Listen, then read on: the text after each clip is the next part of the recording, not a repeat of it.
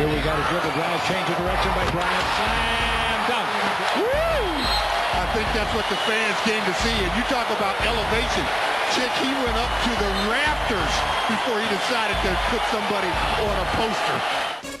You know, the, the one thing, this is a great hustle by Lamar Odom, and then he finds Kobe and he's able to get the dunk.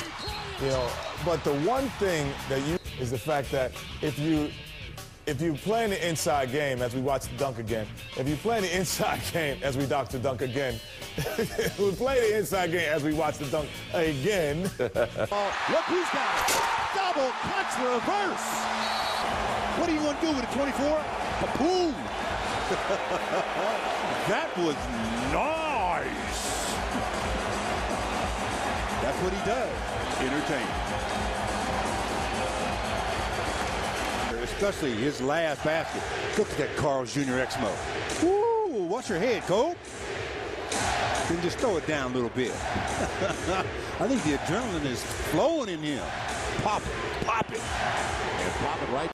Well, two guys first team All NBA in 2004, the rookie year, Dwight Howard. Kobe dunked on Dwight, a moment that Dwight Howard remembers all too well.